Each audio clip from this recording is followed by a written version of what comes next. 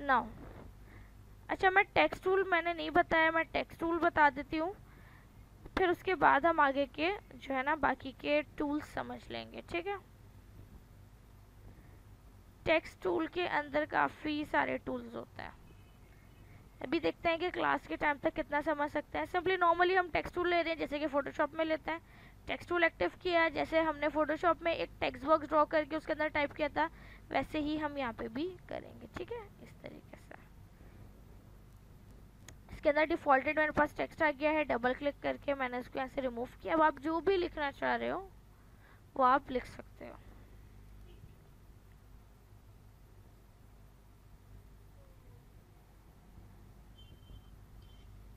ठीक है साइज़ वगैरह जो भी है, वही आप कंट्रोल टी प्रेस करो, या जो है आप विंडो में जाके करेक्टर खोल सकते हैं, या जो है यहाँ पर आकर ऑप्शंस भी आपके पास होते हैं ये करेक्टर का अलग होता है और पैराग्राफ का अलग होता है, ठीक है?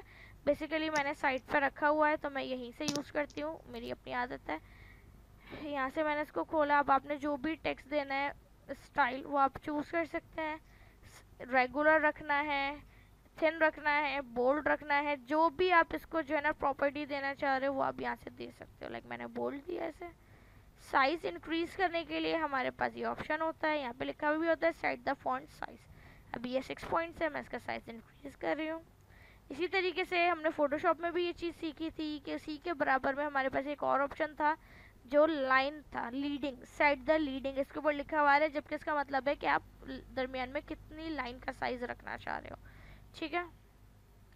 अब मैंने जैसे कि मैं एंटर कर रही हूँ, और मैंने यहाँ पर लिखा लाइक like एग्ज़ाम्पल के तौर पर मैंने अपना अपना नाम लिख दिया, ठीक है?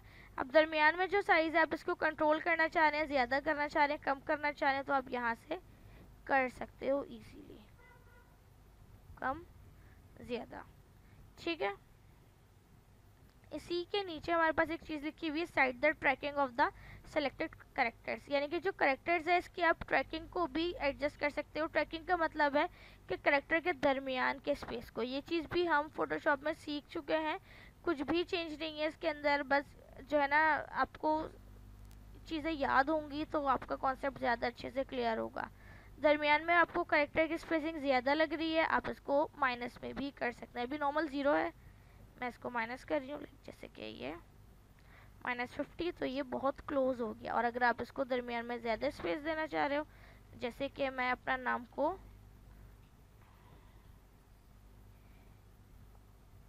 स्पेस के साथ पूरा ओवरऑल आगे तक ले जाना चाह रही हूँ तो वो भी आप कर सकते हो।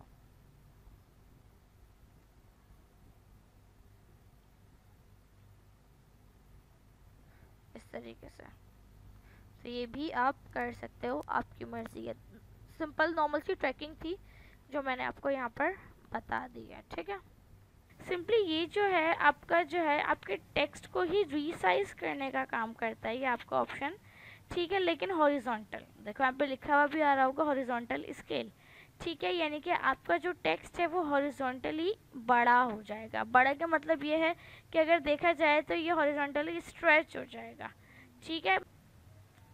तो सिंपली जस्ट री स्ट्रेच करने का काम करेगा। रीसाइजिंग होगी लेकिन हॉरिजॉन्टल स्केल में, ठीक है? इस तरीके से भी। आप आगे बढ़ा भी सकते हैं और उसको कम भी कर सकते हैं। लेकिन इसी तरीके से, वैसे हम लोग ये बहुत कम ही यूज़ कर रहे होते हैं ये। और ज़्यादातर हम लोग अपना टेक्स्ट को प्रोपोर्शनली ही रिसाइज करते हैं। लेकिन अगर फिर भी आपको कभी नीड हो इस इस ऑप्शन के यूज़ करने की तो आप कर सकते हो उसके थ्रू ये आपका हॉरिजॉन्टल स्केल होता है, जबकि ये आपका वर्टिकल स्केल होता है। आप वर्टिकली इसको रिसाइज कर सकते हो उस तरीके से। अगर आपने करना है तो ये देखो। ठीक है? इसको मैं वापस से हंड्रेड कर देती हूँ।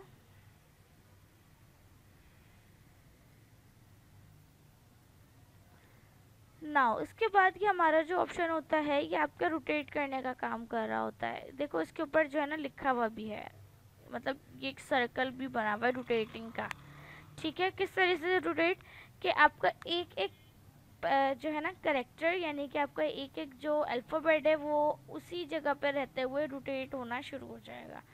क्लॉकवाइज भी होता है और एंटी क्लॉकवाइज भी होता है। अब आपकी मर्ज़ी है, आप जिस तरफ़ भी रोटेट करना चाह रहे हो। क्लॉक वाइज करना चाह रहे हैं या एंटी क्लॉक वाइज करना चाह रहे हैं एज यू वांट इसके, इसको आप साइड में रख देते हैं। मैं इसके करेक्टर स्पेसिंग को कम कर देती हूँ ताकि थोड़ा क्लोज हो जाए।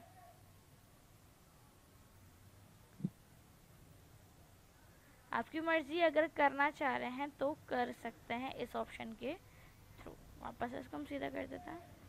ना, अब हम आ जाते हैं नीचे की तरफ़। ये वही ऑप्शन आपको दिखाई दे रहे होंगे जो हमने फ़ोटोशॉप में रीड किए थे, पढ़े थे।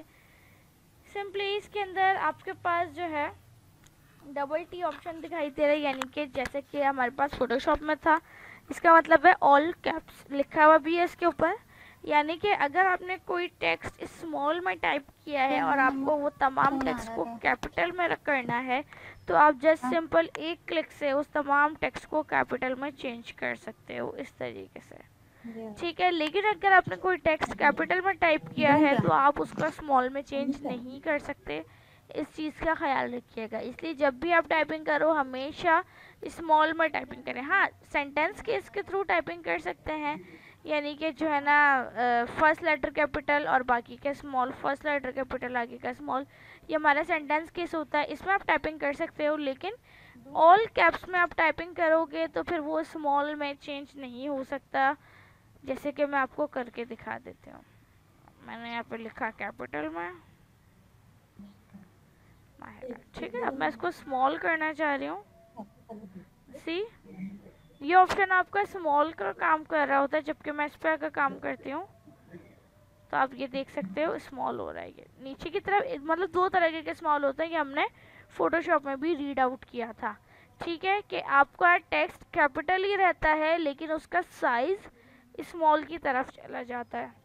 और सेकंड आपका ओवरऑल टेक्स्ट स्मॉल हो जाता है, जैसे आपने टाइप किया होता है। अगर आप कभी कैपिटल दे दो तो आप उसको यहाँ से स्मॉल भी कर सकते हैं। ठीक है? नाउ नेक्स्ट हमारे पास जो है बेसिकली वो है super script tool super script tool भी हम फोटोशॉप में रीड कर चुके हैं, पढ़ चुके हैं। इसके बारे में सिंपली ये आपका क्या काम करता है? ऊपर देखो, छोटा सा वन बना हुआ इट मीन्स का ये आपका पावर बनाने का काम करता है और सबस्क्रिप्ट टूल आपकी बेस बनाने का काम करता है। ठीक है पावर एंड बेस इसके अंदर भी अगर जैसे कि इसमें तो इलस्ट्रेटर में हमें पावर बेस की नीड नहीं होती है, जैसे कि एच टू वगैरह नोट्स वगैरह हम इसमें टाइप नहीं कर रहे होते। लेकिन अगर कोई कैटलॉग वगैरह बना रहे हैं तो उसके अंदर हमें लाजमी जो है ना, कहीं ना कहीं पर इस तरीके से यूज़ करने की ज़रूरत पड़ जाती है। चाहे अगर वो केमिस्ट्री या फिज़िक्स रिलेटेड कोई कैटलॉग है तो यानी कि साइंस से रिलेटेड कोई कैटलॉग है तो या जैसे कि उसके अंदर अगर टम्परेचर की बात कर दी जाए लाइक हंड्रेड डिग्री सेंटीग्रेड तो डिग्री का जो ऑप्शन है ऑब्वियसली वो हमारा ऊपर की तरफ़ हंड्रेड ऊपर की तरफ़ जाके बनेगा। ठीक है? तो इसी तरीके से ये चीज़ मैं आपको करके दिखा देती हूँ। सिंपली डेट के लिए भी हमारा जो है ना, यही चीज़ होगा, जैसे कि मैं यहाँ पे लिख दूँ ट्वेंटी फोर फोर्टीन लिख लेता हूँ चलो फोर्टीन सितंबर ठीक है? अब ये जो फोर्टीन का टी एच है ओबियसली ये आपका ऊपर की तरफ़ स्मॉल होगा लाइक दिस ठीक है, जब हम डेट वगैरह लिखेंगे तो उसके अंदर हम ये कर रहे होते हैं। इसी तरीके से अगर कभी आपको सब्सक्रिप्ट की नीड पड़ जाए, वैसे बहुत कम ही इसमें नीड होती है सब्सक्रिप्ट की, लेकिन बिल फर्ड्स एग्ज़ाम्पल के तौर पर अगर नीड हो तो आप सब्सक्रिप्ट का ऑप्शन भी यूज़ कर सकते हैं। जैसे कि मैं सबसे इजी एग्जांपल आपको एच टू से समझा देती हूँ। ठीक है, ये बहुत छोटा लिख रहा है, क्यों? क्योंकि सुपर स्क्रिप्ट का ऑप्शन एक्टिव था। मैं इसको अनएक्टिव कर रही हूँ, उसी के ऊपर क्लिक करके नाउ टू को हम सेलेक्ट कर रहे हैं। और सब्सक्रिप्ट देन सी ठीक है? नाउ सबको हम साइड कर देते हैं।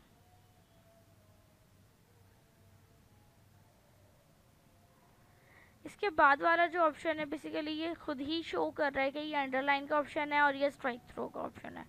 अगर आपने कोई हेडिंग दी है किसी भी चीज़ की आपने कोई भी हेडिंग दी हुई है लाइक मैं जैसे कि यहाँ पर लिख देती हूँ इलस्ट्रेटर अच्छा मेरी कैप्स लॉक ऑन है, मैं ज़रा उसको ऑफ़ कर रही हूँ। ठीक है, और यहाँ से सब्सक्रिप्ट ऑप्शन को अनएक्टिव कर रहा है। अब आपने ये इलस्ट्रेटर लिखा है, अगर आप इसका अंडरलाइन देना चाह रहे हैं तो भी आप दे सकते हैं इस ऑप्शन के थ्रू इजीली ठीक है, और अगर आप स्ट्राइक थ्रू ऑप्शन अप्लाई करना चाह रहे हैं इनकी वर्ड को ऊपर से कट करना चाह रहे हैं तो आप कर सकते हो। जैसे कि अक्सर सेल वगैरह के लिए लिखा हुआ होता है हंड्रेड मतलब लिखा होता है कि फिफ्टी परसेंट सेल पे क्रॉस लगा के सिक्सटी परसेंट सेल का टैग दिया हुआ होता है। तो इस तरीके से आप क्रॉस इसमें लगा सकते हैं, इन जगहों के लिए यूज़ कर सक, कर सकते हैं।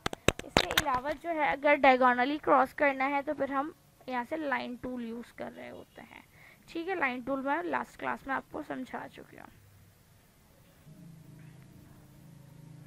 सिंपली ये तो आ गया आपका कैरेक्टर से रिलेटेड ओवरऑल ओवरऑल आपकी जो है ना, जो प्रॉपर्टीज़ थी वो मैंने आपको बता दी हैं। अभी हम बात कर लेते हैं अपने पैराग्राफ से रिलेटेड ठीक है? मैंने यहाँ पे एक पैराग्राफ ड्रॉ किया है। सॉरी पैराग्राफ टाइप टाइप तो हम नहीं करेंगे क्योंकि जो है इलिस्ट्रेट में पहले से ही हमें एक डमी टेक्स्ट मिल जाता है। कॉपी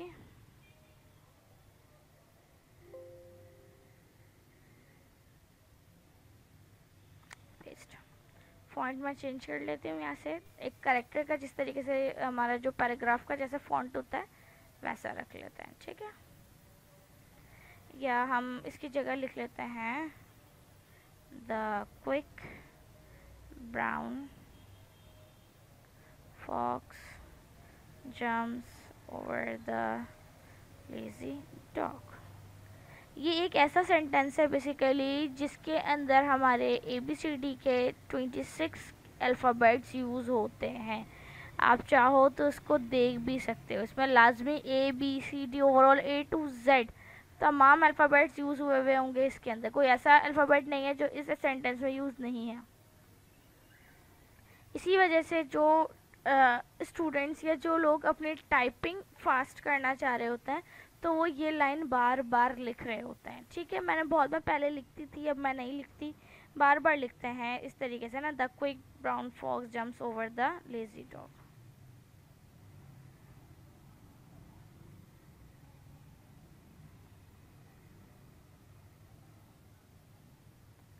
ठीक है तो इस तरीके से अगर आपको अपनी टाइपिंग स्पीड भी फास्ट करनी है तो आप ये लाइन लिखकर उसको फास्ट कर सकते हो, उसको आप देख लीजिएगा overall A B C D करके खुद ही आप देख लीजिएगा, आपको आइडिया हो जाएगा। इसके अंदर तमाम अल्फ़ाबेट्स मौजूद हैं जो हमारी overall A B C D में होते हैं इंग्लिश में होते हैं, ठीक है? ना अब मैं इसी की कॉपी निकाल लेती हूँ बार बार। तरीके से या इसको सेंटेंस नहीं बनाते, इस तरीके से कर लेते हैं।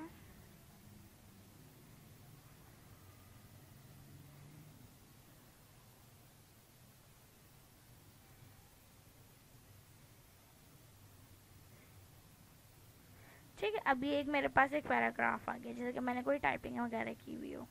पैराग्राफ की प्रॉपर्टीज़ क्या होती हैं सिंपली आपको यहाँ पर भी मिल जाएँगी टेक्स्ट यहाँ पे टेक्स्ट टूल एक्टिव करोगे या नॉर्मली अपने टेक्स्ट को ही एक्टिव कर लोगे सेलेक्ट कर लोगे तो कंट्रोल बार में ऊपर पैराग्राफ की प्रॉपर्टीज़ आ जाएँगी, ठीक है? अदरवाइज़ मैंने यहाँ पे साइड में पैनल में ऐड करके रखी हुई है, अगर आपको ये नहीं आता कि किस तरीके से करते हैं तो मैं आपको लास्ट वीडियो में समझा चुकी हूँ क्लास में समझा चुकी हूँ।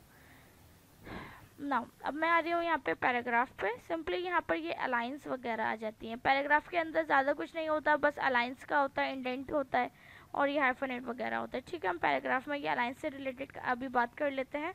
सिंपली सबसे पहले यहाँ पे लेफ़्ट अलाइन दी हुई है, यानी कि जो आपका टेक्स्ट है, ये लेफ़्ट साइड से इक्वली जो है टाइप हुआ हुआ है, बिल्कुल इक्वल लाइन में आया हुआ है। ठीक है अलाइन हुआ हुआ है, एक लाइन में। ठीक है, इसी तरीके से अगर आप अपने टेक्स्ट को सेंटर अलाइन करना चाह रहे हैं तो आप सेंटर अलाइन पे क्लिक करोगे तो आपका जो पूरा पैराग्राफ है वो आपके बॉक्स के सेंटर में अलाइन हो जाएगा। ये हमारा टेक्स्ट बॉक्स है, ठीक है? मैं इसको सेंटर अलाइन कर रही हूँ तो हमारे बॉक्स के सेंटर में अलाइन हो जाएगा इस तरीके से। ठीक है, और अगर आप राइट साइड की अलाइन देना चाह रहे हैं तो आप राइट साइड अलाइन भी दे सकते हो। ज़्यादातर सेंटर लाइन वगैरह हम तब यूज़ कर रहे होते हैं जब हम अपनी हेडिंग सेंटर से स्टार्ट करते हैं, या जो है ना हमारे ओवरऑल काम ही सेंटर में रख कर हम कर रहे होते हैं अपने आर्ट बोर्ड के, ठीक है? और हम लोग लेफ़्ट लाइन वगैरह तब दे रहे होते हैं जब हमने फूटर में कोई जो है ना अपनी कॉन्टैक्ट डिटेल्स वगैरह दी होती हैं कुछ भी डिज़ाइनिंग करते वक्त तो तब हम लेफ़्ट अलाइन करते हैं। और बाज़ अवत ऐसा भी होता है कि डिज़ाइनिंग हमारी ऐसी होती है कि उसके ऊपर हमारी लेफ़्ट अलाइन अच्छी लग रही होती है, कोई हम ऐड डिज़ाइन कर रहे होते हैं या कुछ भी अगर हम डिज़ाइन करेंगे तो हम उस चीज़ के ऊपर जिस तरीके की अलाइनमेंट अच्छी लगेगी, आप वैसे उसको अलाइन कर सकते हो। तो आपने अगर अलाइनमेंट अपनी चेंज करनी है, चाहे वो पैराग्राफ की हो, चाहे वो अपने टेक्स्ट की हो नॉर्मल अपनी हेडिंग की हो तो वो आप इसके थ्रू कर सकते हैं। ठीक है? इसके अलावा जो है, ये आगे की जो अलाइनमेंट्स होती हैं कि हम बहुत कम यूज़ करते हैं क्योंकि हमारे क्लाइंट को पसंद नहीं आती हैं। पसंद इसलिए नहीं आती हैं क्योंकि जो है, ये सब जस्टिफाई अलाइन होती हैं। ठीक है लेफ़्ट सेंटर राइट ये तो ठीक है, लेकिन आगे की सारी जस्टिफाई अलाइंस होती हैं। जस्टिफाई किस तरीके से? ये जस्टिफाई होगी लेफ़्ट साइड पे, ये जस्टिफाई होगी सेंटर ये जस्टिफाई होगी राइट और ये ओवरऑल जस्टिफाई होगी। ठीक है? अब जस्टिफाई में होता क्या है? बेसिकली जस्टिफाई में ये होता है कि ये जो आपका टेक्स्ट बॉक्स है, ये आपका जो टेक्स्ट है, ये आपके टेक्स्ट बॉक्स के लेफ़्ट और राइट दोनों तरफ़ से इक्वली लाइन में अरेंज कर देता है आपके टेक्स्ट को। बस लास्ट वाली लाइन आपकी लेफ़्ट की तरफ़ अलाइन हो जाती है। कुछ इस तरीके से। इक्वल लेफ़्ट इक्वल राइट और जो लास्ट वाली लाइन है वो लेफ़्ट साइड पे अलाइन हो जाएगी। ठीक है? ये क्लाइंट को क्यों नहीं पसंद आता? क्योंकि इसमें क्या होता है कि जगह जगह पे कम ज़्यादा स्पेस आ जाता है टेक्स्ट यानी कि जो वर्ड्स हैं उनके दरमियान में। ठीक है, यहाँ पे देखो ज़्यादा स्पेस है, यहाँ पे कम स्पेस है, यहाँ पर थोड़ा ज़्यादा स्पेस है, यहाँ पर भी कम स्पेस है, यहाँ पे भी कम। ठीक है तो जो कम ज़्यादा स्पेस आने की वजह से क्लाइंट हमें मना कर देते हैं कि भाई ये इक्वली पार्शली जो स्पेस है टेक्स्ट का वो डिवाइड नहीं हुआ हुआ, इस वजह से आपको उसको फिक्स करना है। तो फिर हम ये यूज़ नहीं कर रहे होते हैं ठीक है? इसी तरीके से अगर ये जस्टिफाई सेंटर लें तो ये सब इक्वल ही रहेगा जस्ट सेंटर वाली लाइन ला, लास्ट वाली लाइन सेंटर पे अलाइन हो जाएगी ऐसे।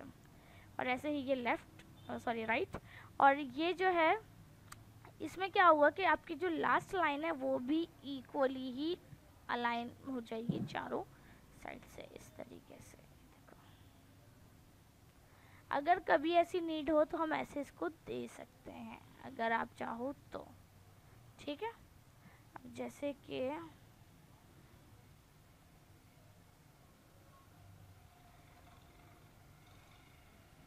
साइज़ में इसका कर देती हूँ छोटा।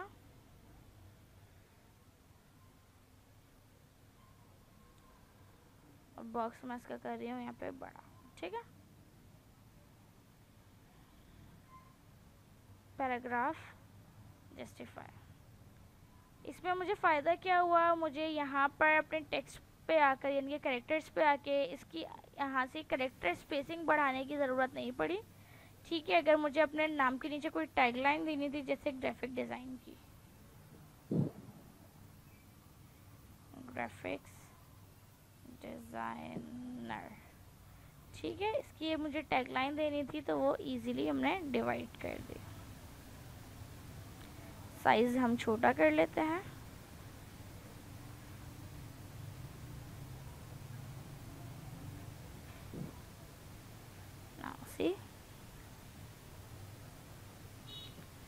ठीक है तो ये थोड़ा सा हमें फ़ायदा हो जाता है जस्टिफाई लाइन के लिए तो हम इन जगहों के लिए थोड़ी बहुत यूज़ कर लेते हैं। ठीक है और अगर सिर्फ़ एक ही नाम होगा एक ही वर्ड होगा आई I मीन mean, तो वो इस तरीके से उसको पूरा डिवाइड कर देगा।